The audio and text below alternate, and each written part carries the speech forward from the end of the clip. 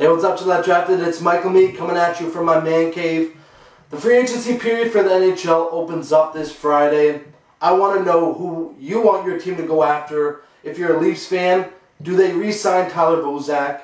Five million a season, apparently an eight-year contract is what he wants. There's no way he deserves that. I just, I mean, if you really believe he's worth five million a year, an eight-year extension, you're either drinking or you're going the Michael Phelps route. I don't know you, but if you believe that's what he, he, he deserves, then you're sadly mistaken. I'm so sorry.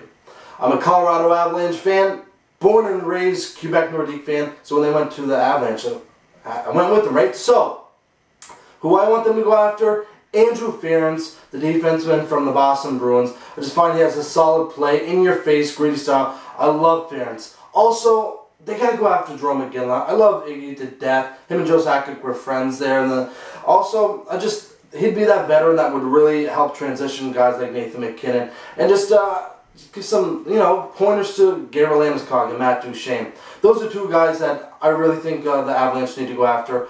Also, they need to move Semyon Varlamov.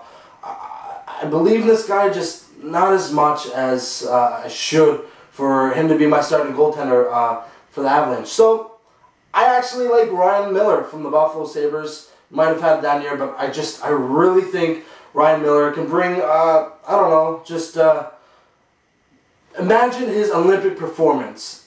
I think if he ha- if he believes in his team, he's going to put in an A plus plus performance. So that's what I want for my Avalanche. Who do you want? Michael Meade for that 25th spot.